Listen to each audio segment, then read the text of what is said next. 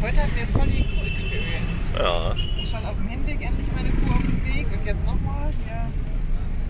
Das ist ja in deren Glauben doch irgendwie Gott oder sowas, ne?